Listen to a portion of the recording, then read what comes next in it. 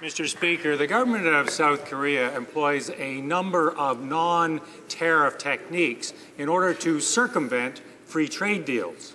Uh, in their rush to sign deals, the Conservative government uh, appears to be prepared to throw Ontario's auto industry under the bus.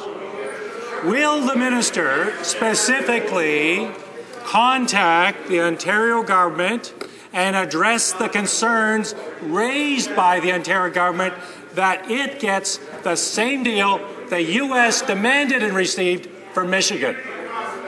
Here, here. Well, Parliamentary Secretary to the Minister of International Trade. Mr. Speaker, I'd like to thank the member for the question. Uh, as he knows, negotiations are underway, and this government will only sign a trade agreement that's in the best interests of Canada. Exactly. It's also critical to know, and the Ontario government knows well, that the European Union, Australia, and the United States have signed deals with South Korea, Mr. Speaker.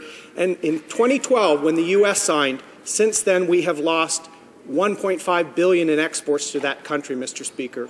We're here to ensure that a free trade agreement with South Korea will level the playing field and ensure Canadian exporters have opportunities and more jobs for Canadians. We're consulting with the provinces. Uh,